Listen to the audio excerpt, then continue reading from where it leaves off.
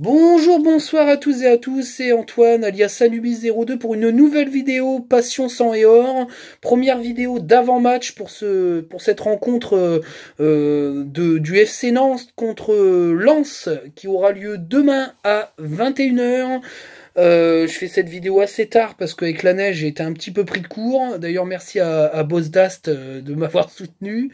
Euh, dans les petites dédicaces, je fais une petite dédicace à Ellie euh, dont son travail est vraiment intéressant au niveau graphique. Je vais pouvoir améliorer un petit peu la chaîne au niveau graphisme mais franchement elle m'aide beaucoup et je suis super content de, de, son coup de main. Elle a vraiment du talent. Allez voir son Twitter. elle a quelques trucs intéressants à montrer. Voilà, c'est le petit clin d'œil. Et, voilà, on va commencer donc par le groupe euh, concocté par Francaise. Alors il y a deux absents, euh, un absent de marque qui fait euh, pleurer toute la tuitosphère lançoise, c'est Loïc Badet, absent pour au moins trois matchs euh, dû à une entorse contractée contre Strasbourg et Corentin Jean, douleur musculaire. Euh, sinon, c'est du classique, hein, les Cafarinaises au niveau des gardiens, Silaclos, Michelin et Bourra en latéraux, Medina Fortes, Aïdara. Alors le retour de Medina, c'est très important, j'en reviendrai un petit peu dans le dans l'explication du 11 type. Et puis euh, Kakuta Fofana et, et en milieu de terrain, avec Doucouré bien sûr. Mauricio est de retour. Le petit Pereira d'Acosta est encore dans le groupe. Il avait fait une bonne rentrée contre Strasbourg. J'aime beaucoup ce jeune-là. Il a du potentiel. Et puis devant, Sotoka, Ganago, Banza et Kalimwendo, on est sur du classique. Donc, euh, Loïc Badé est absent. Ce qui fait un peu semer tout la, tout la tutosphère lançoise. Mais je rappelle qu'on a quand même gagné des matchs sans euh, Loïc Badé titulaire contre Bordeaux et puis euh, je ne sais plus l'autre match. Mais en tout cas, on a gagné des matchs sans Loïc Badet. Euh, c'est une absence lourde. Surtout que en plus la défense centrale c'est un petit peu notre talon d'Achille en ce moment, mais voilà, on peut gagner sans Loïc Badet titulaire. Alors dans les choix du coach, euh, il y a Zakaria Diallo qui est complètement grillé, qui jouera pas, qui doit partir. Euh, Tchèque Traoré toujours en retour de blessure, mais ça commence à avancer, il, commence à reprendre l'entraînement, donc c'est un joueur qui va être présent. Mais bon, il devait partir cet été, hein, avant de se blesser, il était sur une instance de départ. Donc je sais pas trop ce qui va se passer pour lui. Avec Salandar Radovanovic, c'est pareil, c'est en négociation. Pardon, excusez-moi. Et puis Adam Oudjani, c'est un peu comme Charles Bolly, il rentre pas forcément dans les compos de départ de, de Frank Hayes, mais c'est un joueur qui a beaucoup de talent. Après, lui ferait du bien, je pense, parce qu'il faut qu'il joue ce gamin-là. Il a du talent. Euh, il a le football, c'est dans ses veines, hein, c'est héréditaire. Hein, euh, il a, c'est un grand nom qu'il porte et il a un grand talent. Et euh, voilà, il faut, il faut continuer comme ça pour lui. Et je pense qu'un prêt lui ferait du bien. Euh, c'est des joueurs qu'on doit pas, voilà, c'est comme Tom Ducrot, c'est des joueurs qui ont un gros talent qu'il faut prêter et puis récupérer avec un peu plus de bouteilles. C'est, pas péjoratif. Il faut, voilà, il faut, il faut que ça avance. Voilà. au niveau du 11 type, alors pour moi, mon 11 type, il est clair, les cas dans les buts. Par contre, au niveau de la défense centrale, moi je pense que Fortes doit être au niveau central, Medina à gauche et Aïdara, euh, euh, Medina à gauche et Gradit à droite. Après, Francaise pourrait bien aligner Aïdara à gauche, Gradit en centrale et Medina en centrale et Gradit à droite, mais j'ai des doutes. Surtout que Medina il est de retour de blessure. Francaise a dit que de toute façon il jouerait pas les trois matchs titulaires, donc c'est clair que voilà. Je pense que personnellement euh, Medina va jouer contre contre Nantes et jouera pas euh, contre Marseille. Euh, on verra bien, mais en tout cas moi je pense sur ça. Hein. Medina à gauche, Fortes en centre et Gradit à droite, sachant que Fortes c'est pas l'assurance tout risque, mais il est quand même assez solide dans les duels.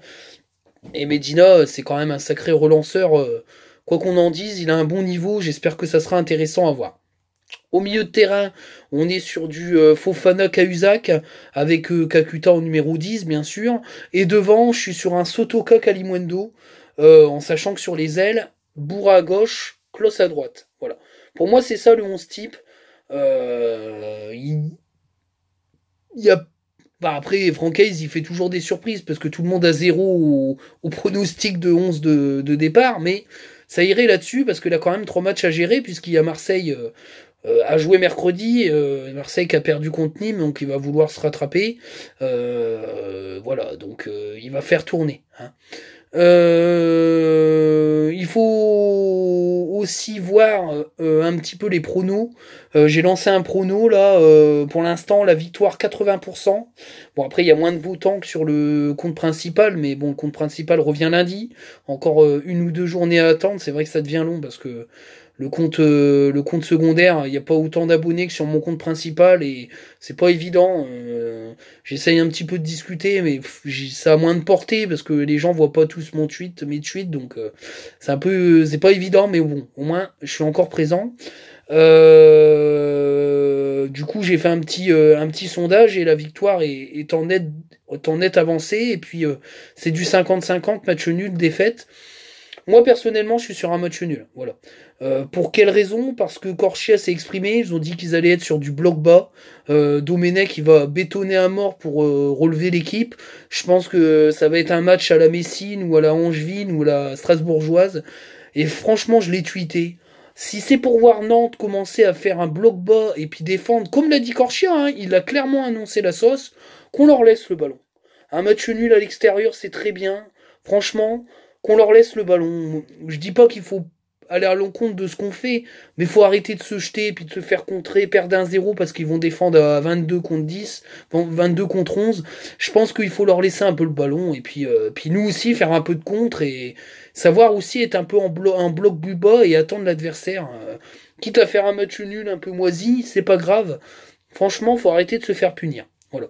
C'est ce que je pense. Parce que Nantes vont pas jouer bloc haut, ils vont jouer bloc médian, voire bloc bas, ils vont nous attendre.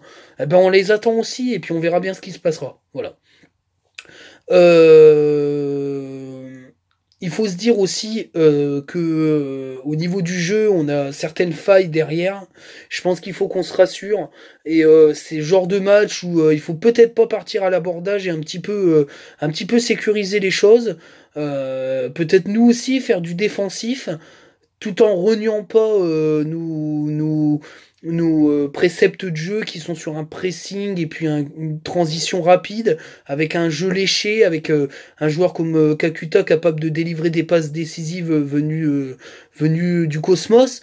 Mais il faut peut-être aussi laisser un peu le ballon aux adversaires pour, mieux les contrer. Voilà, c'est important pour moi.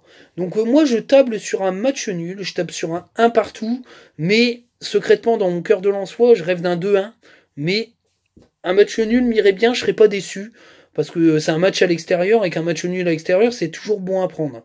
Maintenant, on va faire une petite projection sur les deux prochains matchs. L'absence de Loïc Badé, elle va quand même être un petit peu compliquée, surtout que Medina revient de blessure. Donc on va sûrement avoir un Gradit Fortes Aïdara, peut-être voir Doucouré redescendre, comme à l'époque de de Philippe Montagnier où il avait fait quand même pas mal euh, l'intérim. Je pense que euh, il doit hésiter hein, parce que Aïdara Fortes dans le même euh, trio défensif, euh, ça me fait un peu vers caca dans mon slip hein, parce que c'est pas c'est un peu chaud, c'est un peu chaud quand même. Surtout que Gradit va pas renier ses, ses principes de jeu, c'est-à-dire faire la perforeuse. Euh, j'ai peur. J'ai peur quand même de me retrouver avec deux défenseurs centraux incapables de, gérer des joueurs qui vont vite. Et euh, voilà, ça me stresse. Donc j'espère que Cahuzac ou Doucouré vont, faire le vont faire la, triade avec Gradit et Fortes ou, Gradit et, et. Faudra voir. Faudra voir. Euh, en tout cas, euh, voilà, c'est trois matchs qui sont importants à gérer pour éviter de perdre trop de points. Surtout que Nîmes a gagné contre Marseille. Euh, c'était une victoire qui n'était pas espérée, mais Marseille n'a pas fait un bon match. En tout cas, ça serait bien qu'on relance les victoires. Voilà. Donc voilà pour cet avant-match. On se retrouvera pour une analyse d'après-match. Donc les analyses d'après-match, il y a des tops, des flops. Je mettrai des notations par joueur et puis une analyse un peu du jeu produit par l'équipe. Donc je ferai ça après chaque match. Euh, sachant que ça sera peut-être le lundi ou le mardi selon euh, le, temps que j'aurai à faire, mais en tout cas je ferai mon analyse d'après-match. Voilà, je prends beaucoup de plaisir à le faire. Ça démarre doucement, mais ça démarre bien. En tout cas, euh, l'accueil est assez chaleureux, donc je suis très content. Donc voilà pour cette vidéo d'avant-match. Et puis ben, je souhaite un bon match à tous. Et allez Lance, victoire lançoise en terre nantaise. Une petite claque sur les fesses à Domenech voilà, qui nous annonce euh, qu'il veut épouser euh, Estelle à la fin du match. Comme ça, on sera sûr qu'on aura gagné. Allez, ciao à tout le monde